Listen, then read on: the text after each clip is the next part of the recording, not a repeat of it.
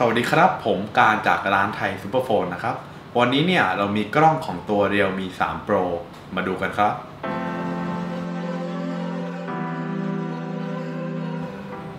เรามาเริ่มกันที่สเปคนะครับผมสำหรับ Realme 3 Pro ตัวนี้นะครับผมให้เลนส์กล้องหลังมา 2 ตัว ตัวแรกเป็นเลนส์16 ล้านเมกะพิกเซล f stop อยู่ที่ f 1.7 ครับผม ส่วนตัวที่ 2 เนี่ยเป็น depth sensor 5 ล้านเมกะพิกเซล f stop อยู่ที่ 2.4 ครับผม นอกจากนั้นก็มี LED flash แล้วก็ dual pixel auto focus ครับผม ต่อมาของกล้องหน้านะครับ กล้องหน้าเนี่ย ตัวเนี้ย25 ล้านเมกะพิกเซล เป็น AI selfie camera นะครับผม f stop อยู่ที่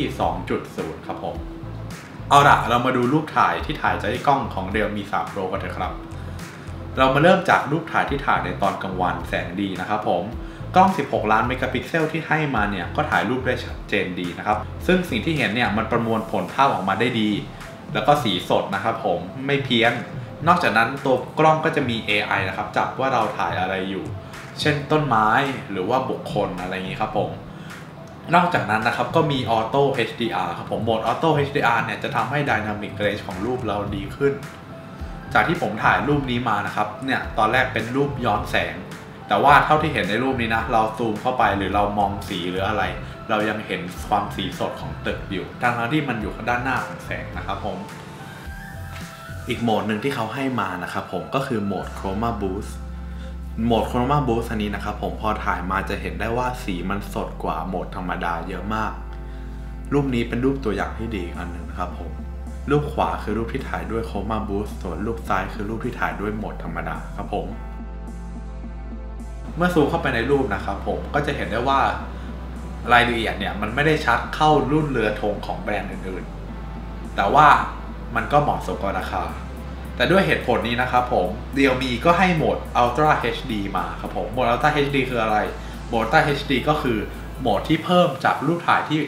ถ่ายจากกล้อง 16 ล้านเมกะพิกเซลของเขาเนี่ย ให้เป็น 64 ล้านเมกะพิกเซล รูปนี้โหมด Ultra HD อยู่ด้านซ้าย โหมดธรรมดาอยู่ด้านขวานะครับผมพอซูมเข้าไปปุ๊บเนี่ยก็จะเห็นได้ว่ารูปที่ถ่ายด้วยโหมดธรรมดาเนี่ยจะมีความแตกมากกว่ารูปที่ถ่ายด้วยโหมด Ultra HD ครับผมโอเคครับผมสำหรับโหมด Ultra HD ตัวนี้นะครับผมจะซ่อนอยู่ในโหมด Expert นะครับหรือว่าที่หลายๆ คนเรียกว่าโหมด Pro โหมด Pro นี่ก็ถูกสร้างมาให้คนที่ชอบเล่นกล้องอย่างเราๆเนี่ยแหละ ให้สามารถปรับ exposure ได้ทำ manual focus ได้ ปรับ white balance ได้ตามที่เราต้องการนะครับผม ต่อมานะครับเราไปดูโหมดหน้าชัดหลังเบลอที่คนหลายๆ คนชอบกันดีกว่าสำหรับรุ่นนี้นะครับผมที่ผมได้เล่นมาเนี่ยเท่าที่ดูเนี่ยรู้สึกว่ามันเบลอได้ถูกจุด หลายๆ คนเนี่ยอาจจะเคยเล่นโทรศัพท์รุ่นอื่นที่พอถ่ายปุ๊บถ่ายหน้าใครสักคนแล้วมันเบลอผิดหูติดไปด้วย ผมติดไปส่วนหนึ่งแต่ว่าเท่าที่ผมเล่นเครื่องนี้มาเนี่ยยังไม่เจออะไรแบบนั้นเลยครับผมต่อมานะครับผมก็เป็นการถ่ายในที่มืดนะครับผม การถ่ายที่มืดของเครื่องเนี่ยพอถ่ายปุ๊บเนี่ยจะเห็นได้ว่าในโหมดธรรมดาก็ถือว่าเป็นรูปที่โอเคอยู่ แต่ว่าเขาเนี่ยให้โหมดขึ้นมาอีกโหมดหนึ่งคือโหมด Night Scape ครับผมก็คือการถ่ายรูปในความมืดโดยเฉพาะ เราจะเห็นได้ว่ารูปที่ถ่ายด้วยกล้องธรรมดากับรูปที่ใช้โหมด Night Scape ถ่ายเนี่ยแตกต่างกันโดยที่รูป Night Scape เนี่ยชัดเจนกว่า แล้วก็เห็นแสงชัดมากกว่าครับผม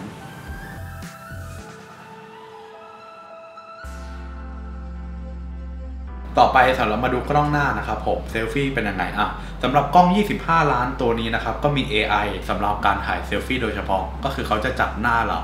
สามารถปรับตาให้ใหญ่ขึ้นได้ ปรับผิวให้เนียน หรือว่าคางให้คมมากขึ้นนะครับนี่ก็เหมาะสำหรับผู้ชายหรือผู้หญิงหรือใครๆก็ได้เนี่ยที่ชอบถ่ายเซลฟี่ไปอวดเพื่อนๆ หรือว่าไปโพสที่ไหนนะครับผมต่อมาเนี่ยเราไปดูที่วิดีโอกัน ตัวเนี่ยถ่ายวิดีโอความละเอียดได้มากสุดที่อยู่ที่ 4K นะครับผม แต่ว่าตัว stabilizer เนี่ย ได้มากสุดเนี่ย อยู่ที่ 1080p 30 เฟรมต่อวินาทีนะครับผม เอาละครับ อันนี้เป็นวิดีโอกับเสียงจากกล้องหลังนะครับผม เราลองไปดูกันว่า อะไร ตอนนี้ถ่ายอยู่ที่ 1080p นะครับผม 30 เฟรม เพราะฉะนั้นเนี่ย การกันสั่น stabilization เนี่ย มันก็จะใช้ได้นะครับผมแมวมอง อ่า ตอนนี้กล้องอยู่ที่ระดับ 4K นะครับ จะเห็นว่าเนี่ย มันจะสั่นมากขึ้น มันจะไม่ smooth เท่าเดิม แต่ว่าถ่ายได้ชัดนะครับผม ชัดมากกว่า 1080p นะครับผม ภาพคมกริบลองเดินให้ดูครับ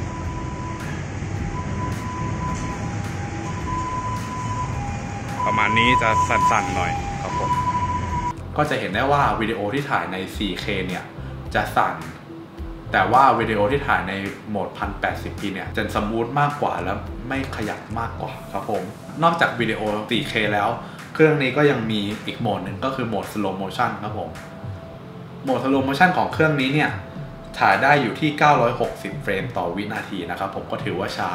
เท่าที่ผมลองเล่นดูและทดลองในฉากต่างๆ เนี่ย ก็เห็นได้ว่ามันจะมีกระตุกนิดหน่อยนะครับ แต่ว่าเราสามารถเห็นโมชั่นเนี่ยช้าๆ ได้ชัดเจนเลยทีเดียว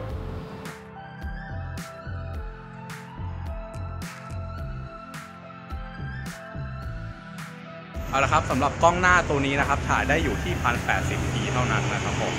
แต่ว่าโดยรวมแล้วสีเนี่ยสดมากนะครับ แมวยังอยู่นะครับ แมวยังอยู่อ่าให้แมวถ่ายแมวหน่อยนี่แมวงงแมวงงแมวมองเออนะครับผม โดยสรุปนะครับผมผมรู้สึกว่ากล้องเรียมี3 Pro ตัวเนี้ยอยู่ในระดับดีมากเลยสำหรับโทรศัพท์ที่ราคาพอๆกันครับผม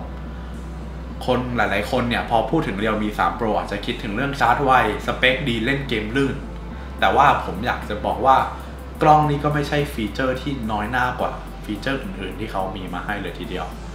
จบไปแล้วนะครับผมกับการรีวิวกล้องของ Realme 3 Pro สำหรับใครที่สนใจ Realme 3 Pro ตัวนี้นะครับ สามารถสั่งซื้อได้ที่ร้านไทยซูเปอร์โฟนอย่าลืมกดไลค์กด subscribe นะครับสำหรับวันนี้ขอบคุณครับ